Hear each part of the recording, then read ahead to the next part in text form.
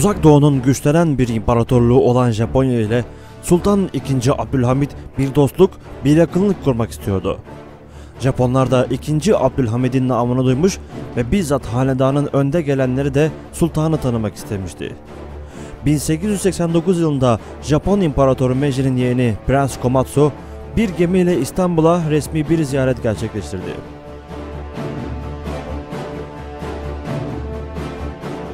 Komatsu'nun geldiği gün Perşembe günüydü ve ertesi gün Osmanlı'da geleneksel Cuma selamlığı yapılıyordu.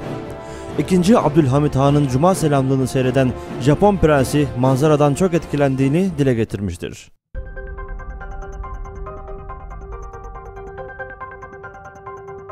İmparator Meiji, Japonya'nın en büyük nişanı olan Kirizantem nişanını Abdülhamit Han'a göndermiş ve yanında çeşitli hediyeleri de sunmuştu. Bu nişan ve hediyelerin yanında bizzat sultana yazılmış bir de mektup vardı. İmparator Meiji, Sultan Abdülhamit'ten bir ricada bulunmuştu. Abdülhamit Han'dan İslam dini, devletin ilim ve teknolojisi hakkında bilgiler göndermesini rica ediyordu.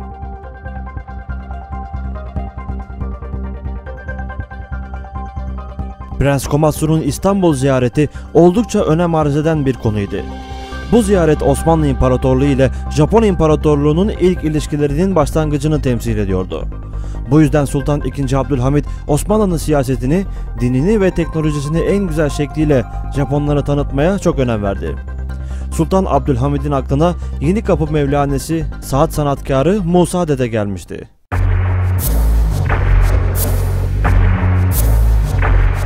Musa Dede saat yapımında dünyanın en önde gelen sanatkarlarından birisiydi. Dünyaca ünlü saat dekorasyonları bulunuyordu. Sultan Abdülhamid Musa Dede'yi huzuruna çağırıp durumu anlattı. Kendisinden eşi benzeri görülmemiş, göz kamaştıran bir saat istedi. Derviş dedenin bu sırada aklına farklı bir fikir geldi. Derviş dede bu saatin her saat başında kollarını açıp sema etmesini ve gong çalması fikrini ortaya attı.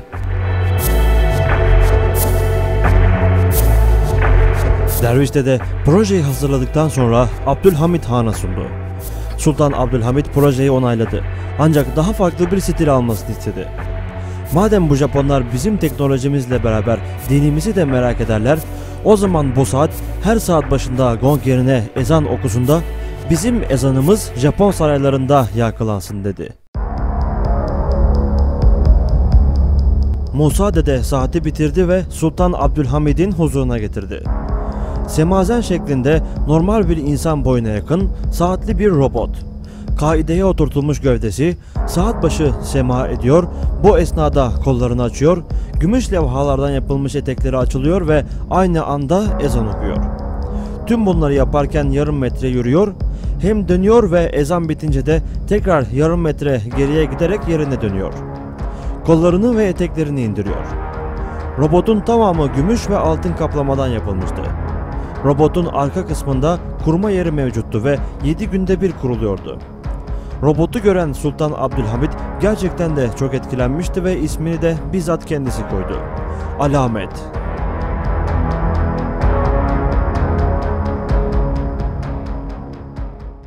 Prens Komatsu'nun İstanbul ziyaretine karşılık olarak çok değerli hediyeler ile birlikte alamet robotu da Ertuğrul Fırkateynine konuldu.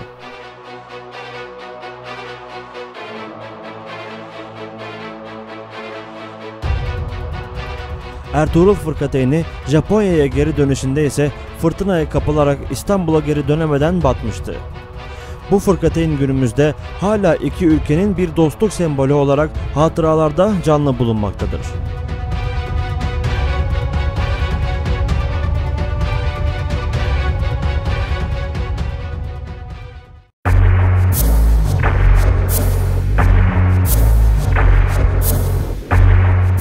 Alamet isminde yapıldığı varsayılan robotun gerçek olduğu kadar gerçek olmadığını öne süren tarihçiler de mevcuttur.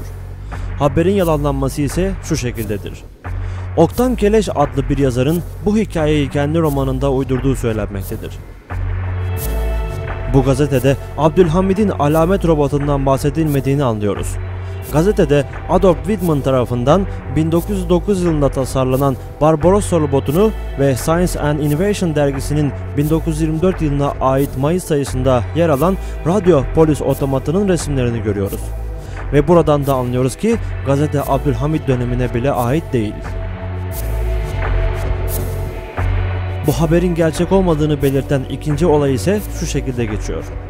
Panafilm, film için bir tanıtım web sitesi açtı. Ve web sitesinde filmin içeriği hakkında geniş bir bilgi verdi ve 2011 baharında sinemalarda olacağının müjdesini bile verdi. Necati Şaşmaz'ın senarist ve yönetmenliğini yapacağı duyurulan bu filmin senaryosu Alamet adlı robotun hikayesiydi. Bununla da kalmadı bu iş. Necati Şaşmaz, Alamet için Japon yapımcı, yönetmen ve senaristlerle görüştü.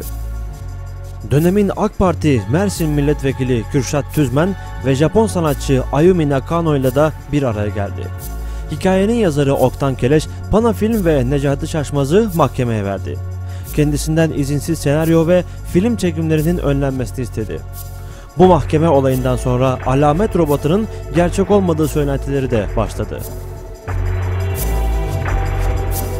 İnternet sayfalarına baktığımızda bu olayın gerçek olduğunu savunan ve gerçek olmadığını da iddia eden birçok sayfa ve açıklama bulunmaktadır. Olayın gerçek olduğuyla alakalı birçok yazı bulunmaktadır. Gerçek olmadığı varsayımı ise sadece Oktan Keleş adlı yazarın romanından alıntı olduğu söylenmektedir. Ancak yine de Osmanlı döneminde gerçekleşen ve dünyada ilk olarak nitelendirilen bir olay daha var. Uzaya ilk insanlı roketi Türkler gönderdi.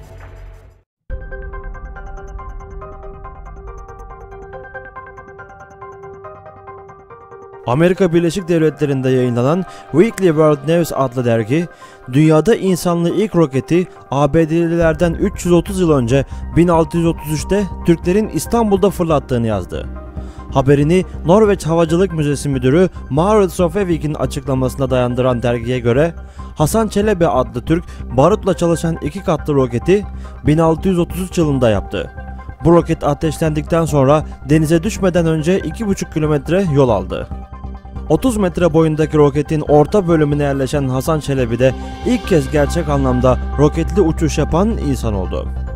Hasan Çelebi'nin roketinin ana motorunun çevresinde 6 küçük motor daha bulunduğunu ve bu küçük motorların roketi havaya yükselten ilk kademeyi oluşturduklarını anlatan Norveçli Rofevik, ilk kademede yer alan bu roketlerin yakıtı tükendiğinde ikinci kademeyi oluşturan ve daha büyük olan ana motor devreye girdi ve roketin daha da yükselmesini sağladı, dedi. Rofevik 300 metre yüksekliğe ulaştığında Çelebi'nin roketi terk ederek havada kaymasını sağlayan ve bir tür paraşüt olan araç yardımıyla yavaşça denize indiğini kaydetti. Haberde daha sonra roketin de denize düştüğü, Hasan Çelebi'nin ise yüzerek kıyıya çıktığı belirtildi. Bu arada 15. yüzyılda Osmanlı ordusunda roket birlikleri bulunduğu da ileri sürülen haberde düşman mevzilere yönlendirilen bu roketlerin korku ve panik yarattığını ifade etti. Rofevik, Hasan Çelebi'nin ilk insanla uçuşta kullandığı roketin bulunması için çalışıldığını, roketi Norveç Havacılık Müzesi'nde sergilemek istediklerini söyledi.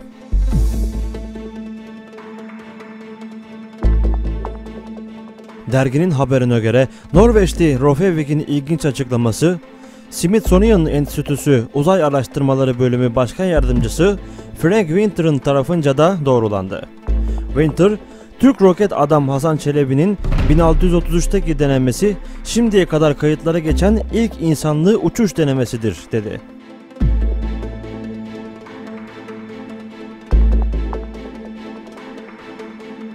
Sultan 4. Murat dönemi aslında Osmanlı'nın havacılık dönemi olarak da tarihe geçmiştir.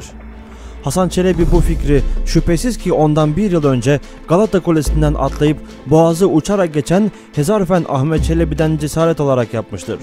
Ancak Hasan Çelebi'nin yaptığı daha tehlikeli bir işti. Zira altında yüksek miktarda barut bulunuyordu. Hezarfen Ahmet Çelebi ve Hasan Çelebilerin bu havacılık harekatları tüm dünyanın dikkatini Osmanlı'ya çekmişti.